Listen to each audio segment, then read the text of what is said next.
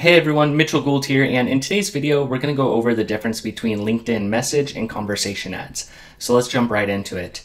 So I'm going to go over some examples and show you the difference here, but the main difference between message and conversation ads is message ads can have one call to action, and conversation ads can have multiple call to actions, and if a user clicks on one of the call to actions, you can continue the conversation by showing additional text.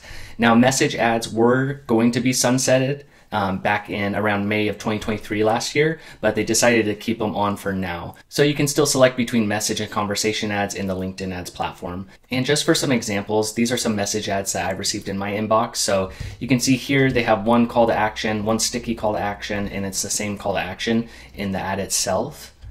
If we go over here, you'll see that as well. You can also have a banner that's optional that will show to the right side on um, desktop. So the same call to action there.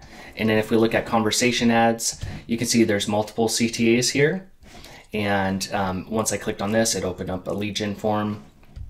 These are some ads I pulled from the ads library. Again, you can see multiple call to actions. And next, I'm going to show you how they look when you're setting up in the ads platform. So if you're setting up message ads in the ads platform, it's pretty straightforward. You add your ad name, and then you can add a sender. Uh, it defaults to yourself, but you can add a it showing being sent from someone else. And then you have your subject line, 60 characters, and then you have your message text, and um, that's unlimited characters there, but usually you want to keep it around 500 characters, um, so not having it too long. And then we have the single call to action, 20 characters, a landing page URL, and then you can add up that banner creative if you want. So that's what it looks like when you're building the ad in Campaign Manager for message ads. And then the setup for conversation ads, it looks a little different here. We name the ad, you select the sender again, and then you have the subject, and you can upload a banner also, that's optional. Um, this is an example of setting up with a Lead Gen objective. So I selected a Lead Gen form, and then you go to next. And then you can choose a template for the message style. So there's different templates here that you can choose. We'll do the drive trials and demos just for a template example. And then go to next step and then you can adjust the, the intro message here, and then you have the call to actions. And so for the tell me more button, you can have it show additional text, or you can have it go open a gen form or um, send to a website. So there's different options there for the buttons.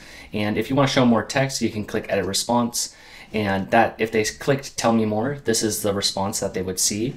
And then if they clicked again, you can add in additional copy. So you can create a conversation within the ad itself. So that's what it looks like for a conversation ad.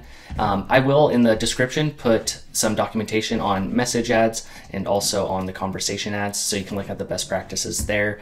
So that's the difference between message ads and conversation ads within LinkedIn. I do like the conversation ad format because you can have multiple call to actions and you can continue the conversation within the ad itself. Um, but again, you can test both of these. You can test the message version with that single call to action and the conversation version. It all depends on your strategy and how you're going about this within cold prospecting and retargeting. So um, can be helpful having these ads in the retargeting layer of your campaigns. If you have any questions on that, please put them in the comments section. I'd be happy to help you out with anything around LinkedIn ads. And um, so just drop a note in there. So thanks again for watching and have a great day.